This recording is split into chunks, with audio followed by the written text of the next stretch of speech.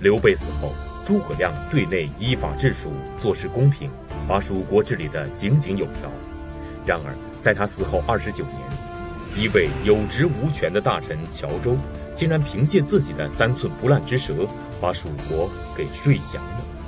那么，诸葛亮创下蜀国大业，为什么禁不住乔州的三言两语呢？这里面究竟有着怎样的玄机？敬请关注《易中天品三国之无力回天》。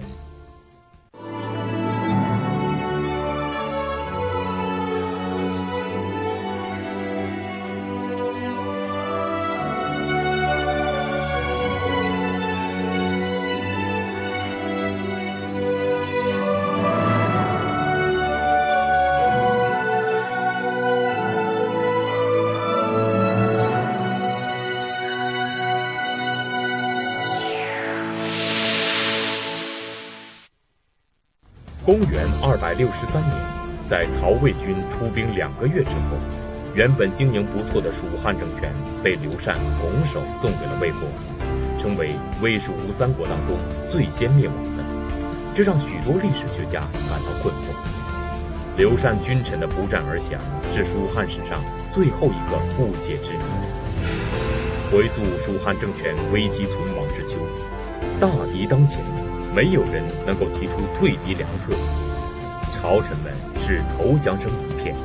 然而，蜀汉一把手刘禅第一个反应是不想投降的，想逃到南方去避避风头。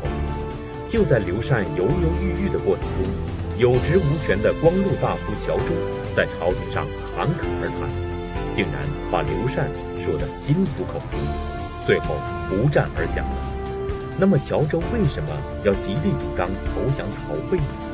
乔州究竟是怎样的一个人？刘禅又为什么要听他的？在蜀汉迅速灭亡的背后，究竟有着怎样的深层政治背景？厦门大学易中天教授做客百家讲坛，为您精彩品三国之无力回天。事实上。曹魏政权一直是把灭孙吴放在第一位的，后来才调整政策来先灭蜀汉，而且从出兵到蜀汉灭亡，一共只有两个月的时间，迅速灭亡。这是为什么呢？历史上的解释呢，一般是四个原因：刘禅昏庸，黄皓弄权，陈芝乱政，乔州误国。刘禅就是后主了，不说他，大家都知道。黄皓呢，是他身边的一个宦官。陈芝是让黄皓得逞的一个人。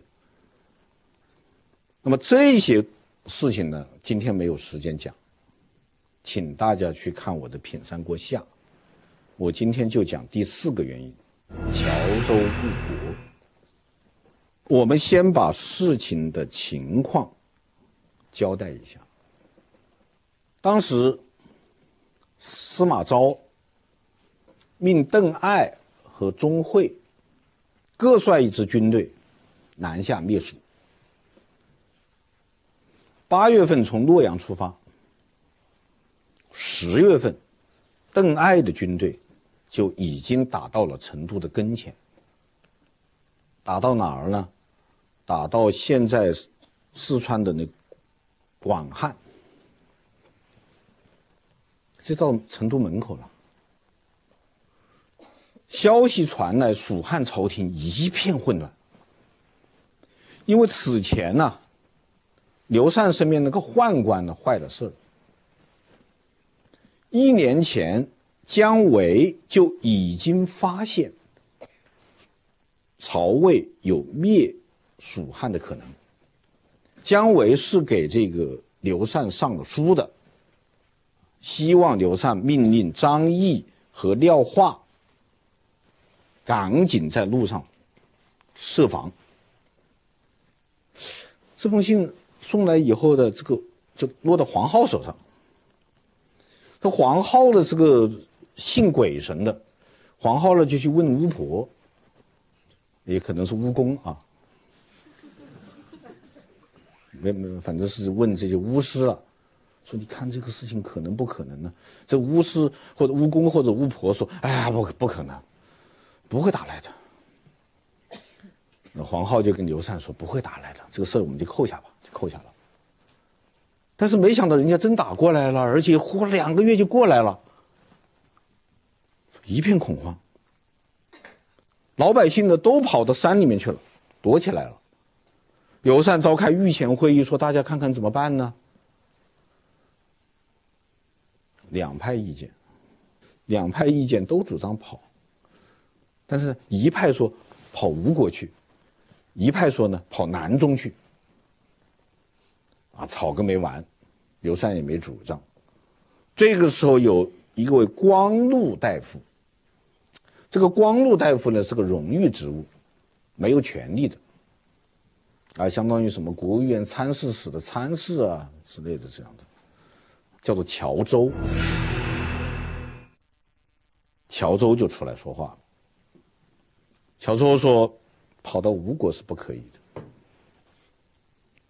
为什么呢？道理很简单，自古以来，无忌他国为天子者也。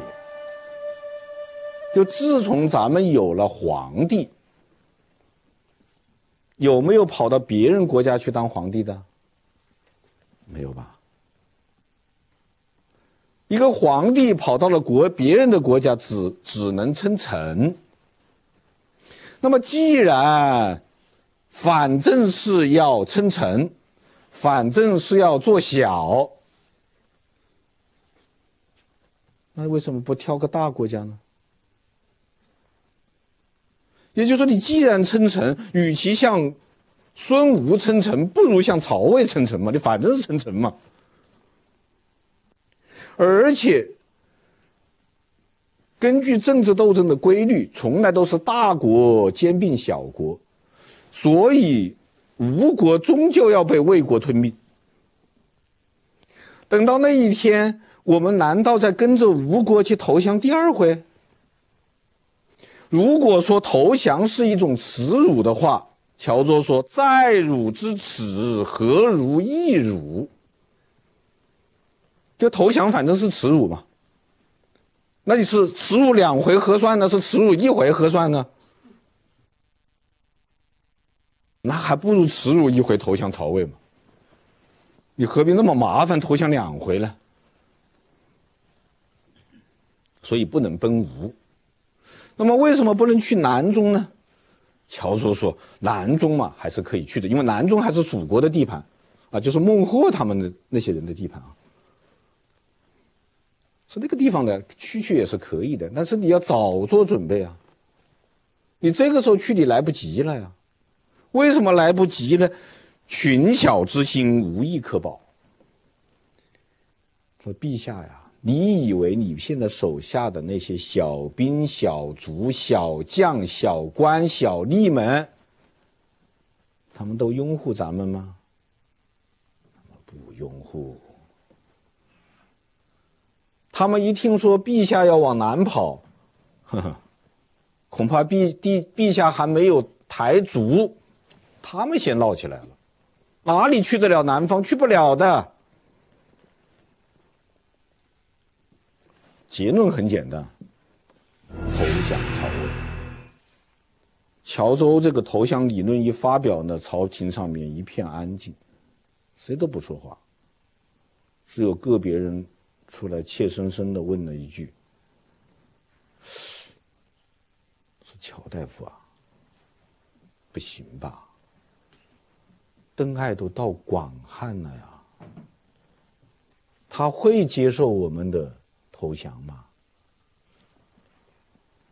恐不受降，如之何？嗯，人家不不让我们投降怎么办？乔说不会，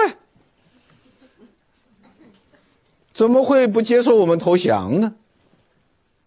东吴还没有灭亡吗？曹魏要拿我们做个榜样嘛，所以他肯定接受我们的投降，不但接受我们的投降，还要客客气气的对待我们，还要给我们陛下封一块土地，封个爵位。如果他们居然不这样做，诸位放心，我乔州亲自到洛阳。据理力争，凭什么亏待我们这些投降派？喂，这乔州把这个话讲完了以后，大家都不说都都不说话了。这刘禅还犹豫，刘禅总觉得这个投降也不是个事儿啊，我还是跑南边去吧。乔州又跟他说：“不行啊，南边是些什么人？是蛮夷吗？”是少数民族了，本来就不服我们，那是丞相发兵压下来的。哎，原来他跟他们跟我们就没有什么关系。那丞相一去了以后，他跟我们有关系了，每年都要进贡啊、交税呀，他本来就不高兴。啊，你现在跑到那儿去以后，我们这么多人要生活，不是又要加重收税了吗？你不多收税，你怎么过日子啊？你再一加重收税，他们不反了吗？去不得的。啊，刘禅就投降了。所以可以说，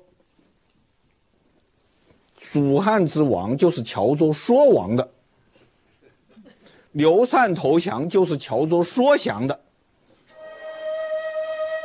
陈寿就说：“刘氏无虞，一邦蒙奈，周之谋也。”这话是正面在说，说刘禅一家平安无事，蜀汉百姓免遭战祸，这都是乔州的深谋远虑啊，谋划的好啊，和平呐。那么这个事情就很麻烦了。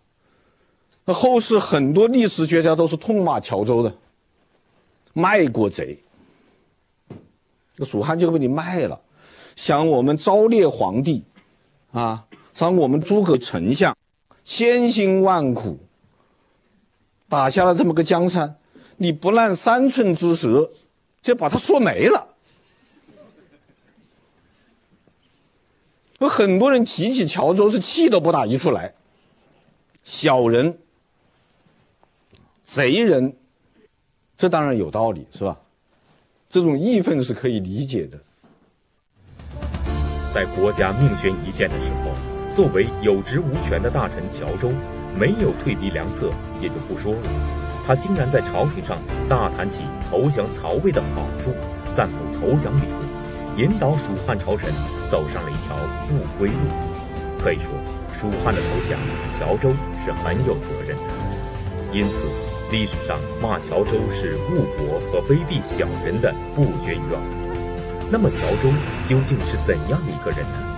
他是小人吗？乔州是个什么人呢？通儒。什么叫通儒啊？就是学问非常大的，把书都读通了的一个大儒。那他学问非常之好，那当然马上就会有人来反驳说，学问好不等于人品好，对不对？是吧？那这个现在，那学问很大、人品很差的人，咱也见多了。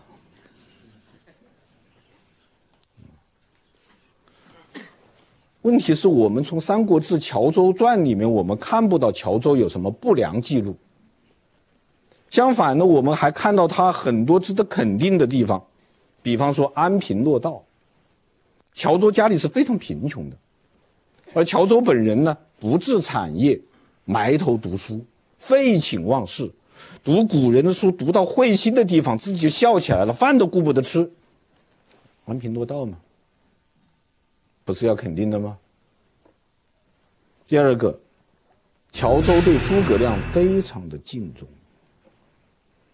诸葛亮去世的消息传到成都，乔州第一个冲出去，就往汉中跑奔丧。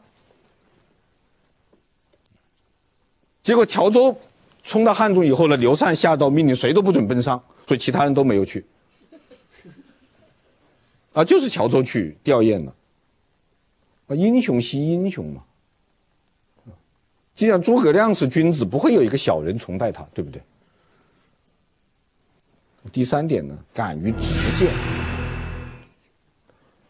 这诸葛亮去世以后啊，刘禅就开始管不住自己了，啊，又修宫殿呐，又增加乐队啊，啊，还增加那些歌舞伎，啊，歌伎舞伎啊，啊，还出去游山玩水啊，没人管了吗？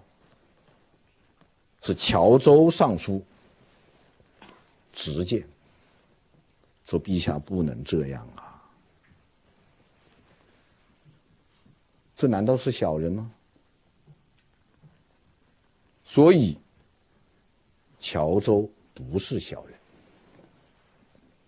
至少没有任何证据证明他是小人。因为我们一般的思维就是个卖国贼肯定是小人，君子怎么会卖国呢？通过易中天先生的分析可以看出，乔州并不是一个小人，而是一个大儒。那么，乔州作为一个以修身齐家治国平天下为己任的儒家学者，为什么在大敌当前不想想退敌之策，而是要带头散布投降理论呢？乔州心里究竟是怎么想的呢？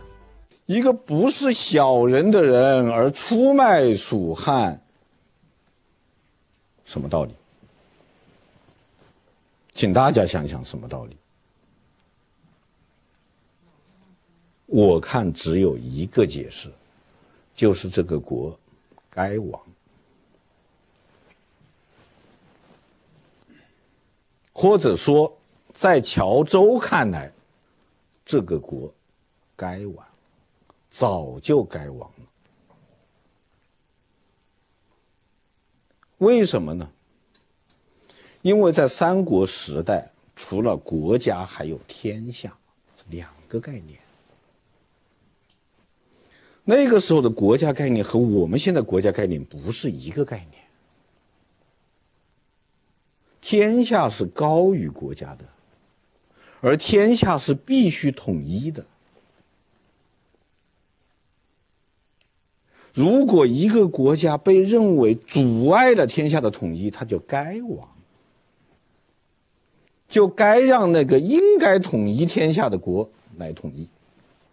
这就是乔州的思想。那么这样说有证据吗？有。而且我可以告诉大家，乔州这个思想的来源在哪里？他从哪里来的呢？从杜琼那里来的。杜琼是什么人呢？杜琼也是益州的大学问家。有一次，乔州去问杜琼，说：“现在大家都说代汉者当涂高，什么意思？”我先跟大家解释一下，什么叫当涂高。当涂高呢，就是正当大陆上很高大，正当大陆很高大的是一定要取代大汉的。啊，这是当时一句政治民谣，传了很久很久了。袁术还利用过，还没有利用成。乔州就去问这个当涂高是谁呀？杜琼说这是魏嘛。乔州还是不能说怎么是魏呢？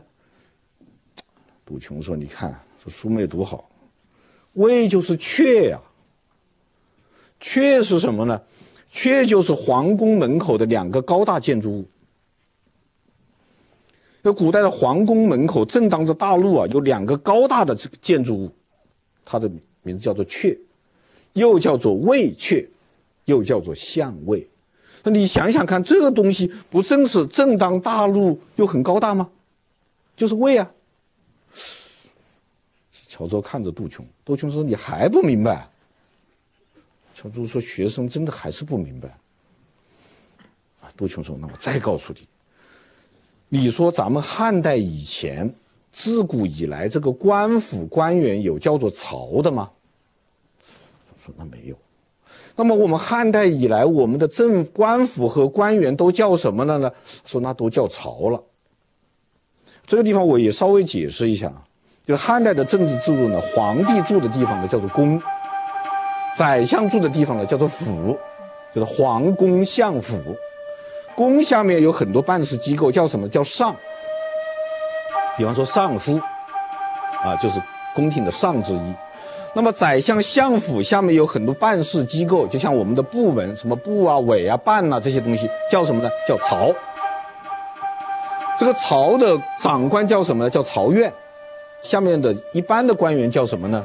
叫属曹。这个。这些办事机构、部委办下面那些勤务兵叫什么呢？叫侍曹。杜琼说：“你看还不清楚吗？”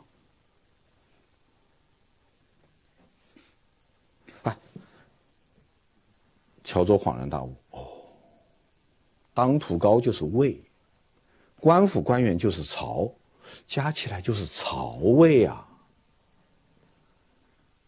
明白了，统一天下的是曹魏。”从此以后，乔州也散布这些言论，而且呢，向前发挥了一步。他到处跟人讲，他请大家想一想看，咱们先帝的名字是什么？备。备是什么意思呢？具备。具备是什么意思呢？够了。咱们当今圣上的名字是什么呢？善。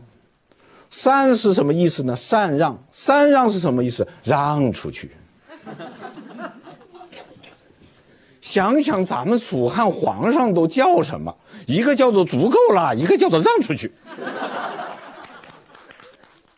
啊，后来这个乔州还在宫廷里面还写了条反动标语，我们就不说他了啊，差不多的意思。嗯，这就是乔州主张投降。的原因，也就是说，乔州主张刘禅投降，不是道德品质问题，是政治立场问题，就他的政治立场是站在曹魏那一边的。实际上，中国历史上很多问题都是政治问题，不是道德问题。把政治问题解释为道德问题啊，是一种很肤浅的历史观。毫无疑问，乔州、杜琼这些说法呢，叫做牵强附会、强词夺理、装神弄鬼，就像那算命先生在测字似的。但是你要知道，在中国古代这个时候，他没有我们现代人这么多科学的这个历史观和发展观啊，他信这个东西啊。显然，乔州后来要出卖蜀国是早有预谋的。他主张投降，已经不是一个道德品质问题了，而是一个政治立场问题。但是，乔州的投降依据都是一些道听途说和牵强附会的解释。那么，乔州这些人为什么要诅咒蜀国灭亡呢？这些装神弄鬼的理论有什么依据吗？这个蜀汉又怎么得罪了这些人呢？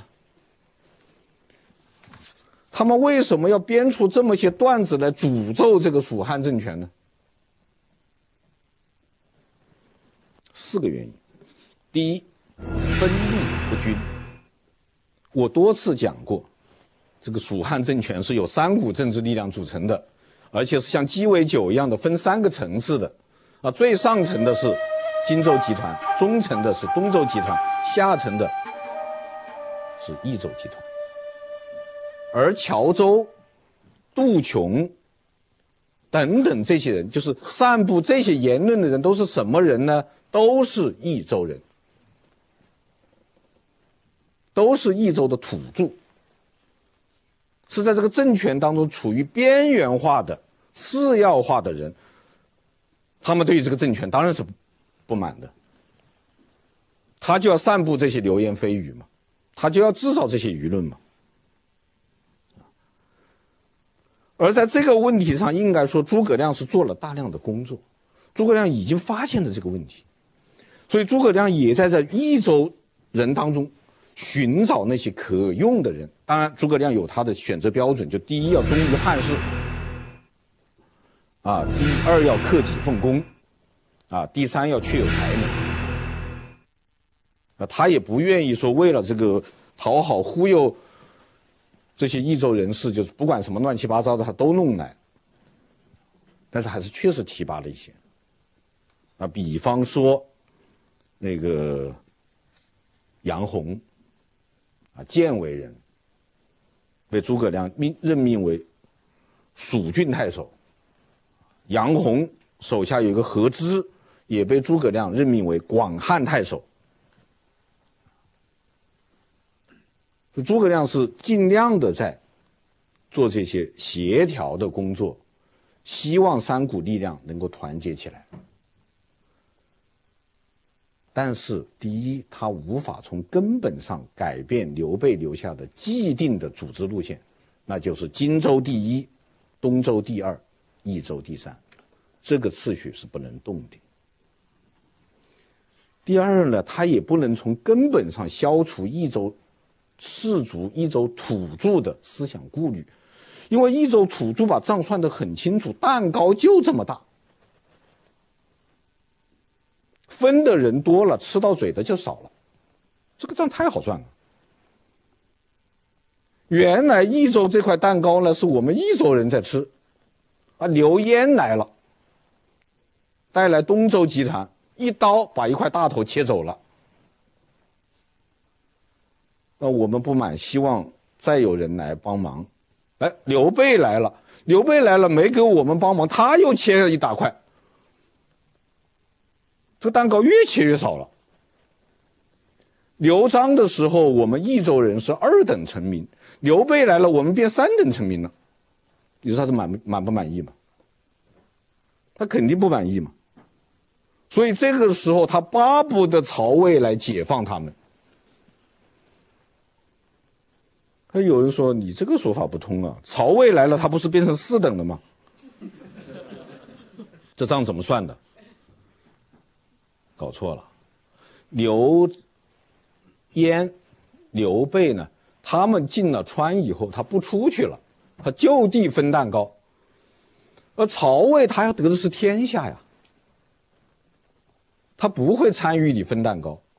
事实上，蜀汉灭亡以后，司马昭马上下命令，把蜀汉政权当中荆州集团和东周集团的官员全部调往中央。要到中央政府去做官，把这个蛋糕让给了益州土著，实行蜀人治蜀，这就是他们盼望的，所以他盼望曹魏，他盼望你蜀汉灭亡。第一点，第二点，治蜀过严。我们知道诸葛亮是依法治国，执法如山。而且令行禁止，执法严明，很严的。所以《蜀记》里面有这样的话，说：“量刑法峻极，刻薄百姓，治君子小人，咸怀怨叹。”就是诸葛亮管这个国家管得太紧了，大家都很抱怨。那么这条史料呢，也有人不承认，因为和陈寿的说法相反。陈寿的说法是什么呢？陈寿说诸葛亮行政虽峻而无怨者，说诸葛亮虽然管国家管得很紧了，大家都不抱怨。所以大家就说你到底当时蜀汉的人民是抱怨呢，还是不抱怨呢？我说是又抱怨又不抱怨，两条史料都成立。为什么呢？陈寿他后面还有一句话，很多人看不见。陈寿是怎么说的呢？以其用心平而劝诫民也。什么意思呢？就说诸葛亮执法虽然非常的严峻，还是承认严峻吗？但是大家为什么都不抱怨呢？公平。就说他严起来是对所有的人都严，对自己也严。对自己的人也严，大家没有怨言，公平吗？但是大家还是说你能不能管松一点儿？他还是要抱怨所以是不抱怨不公平，但抱怨太严峻。第三个原因，战事太多。所以乔州就曾经写过一篇文章，叫做《仇国论》。《仇国论》提出一个什么观点呢？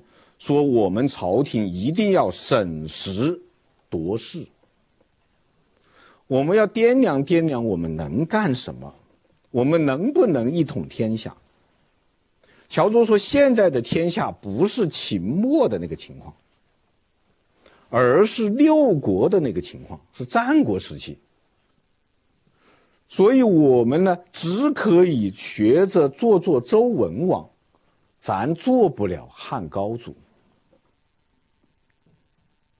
他的意思其实就是，你要想靠你的武装力量，靠你发动的战争去一统天下，你是不可能的。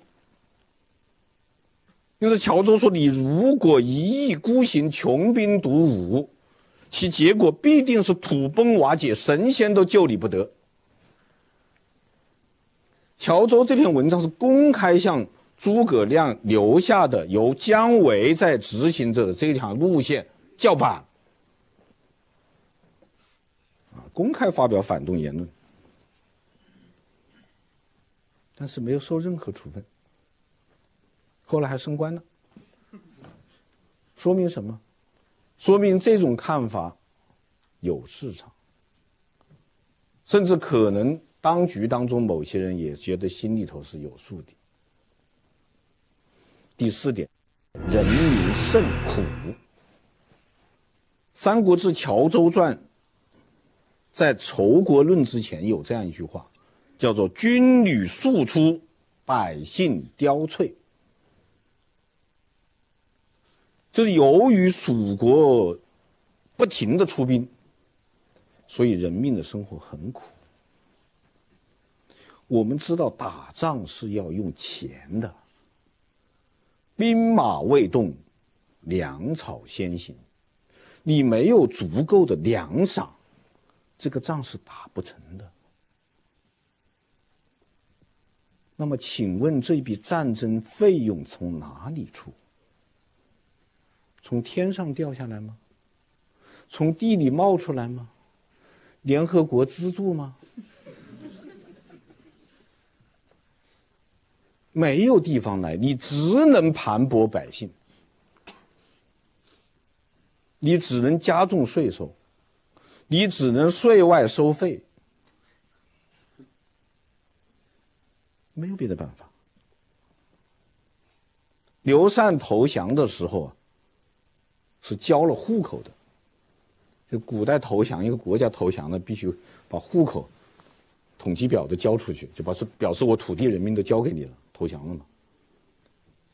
那统计数字是什么样的呢？当时蜀汉人民共有二十八万户。九十四万人，十万连两千军队，四万官吏。这个数字意味着什么呢？意味着蜀汉的人民九个人要养活一个士兵。我说的这九个人是男女老少都在内的啊，包括小孩子。七户要供养一个官吏。太重了，根本就不堪重负。当然，这里要说明的是，诸葛亮在世的时候，由于他的以身作则，由于他本人品德高尚，蜀汉政权的官员。基本廉洁，没有贪污腐败，或者少有贪污腐败。但是老百姓的想法，恐怕和他们想的不一样。老百姓关心的不是你诸葛亮一餐是八菜一汤呢，还是四菜一汤，这个他不管。他关心的是他能不能吃四菜一汤，或者说他至少要能够吃饱肚子。如果你让他吃饱不饱肚子，哪怕你自己艰苦朴素，他也，他也还是有意见的。这一点，邻国的人已经看出来了。吴国有一个人叫做薛许，曾经出使蜀国，回来以后呢，向孙休报报告。孙休说：“你看看蜀国怎么样啊？”薛许说：“我看蜀国恐怕差不多了。为什么呢？入其朝不闻正言。我到他们朝廷里面听不到什么正义的声音。经其野，民皆菜色。我从他们的田野里面走过，所有的老百姓都是面黄肌瘦，营养不良。”这个国家肯定要亡。